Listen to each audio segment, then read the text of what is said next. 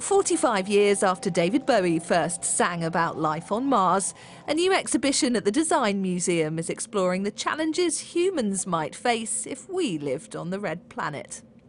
There's the lethal space radiation we'd have to cope with, harsh temperatures and dust storms. Not to mention sourcing our own water and growing our own food. Pulling the mission off isn't only going to require a giant leap forward in space travel, it's going to have to be humanity's greatest feat in design.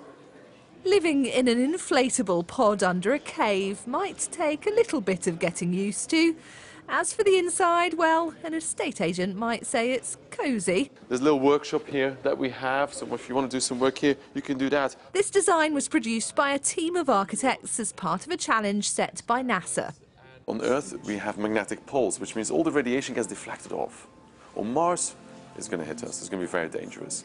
So the best thing to do is live almost in a cave. So this cave is really, or the shell structure is really 3D printed by the robots that you see moving along there. Designs like these are a persuasive argument that we could eventually find a way to live on Mars, but not everyone's convinced we should.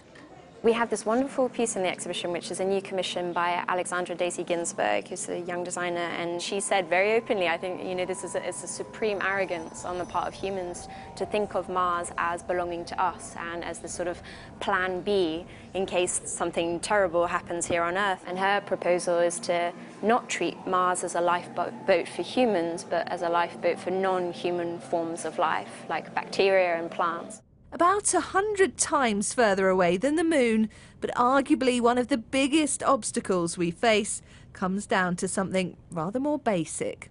Going to Mars is a very expensive proposition, and it means that the governments around the world will, come, will have to come together and say it's something we want to do together. And I, you know, at the moment, we don't show many signs of working together very well internationally. Finding the money will be crucial, but the hope is in pushing ahead with design ideas it should make it a little easier to persuade people it's a journey worth making. Katie Spencer, Sky News.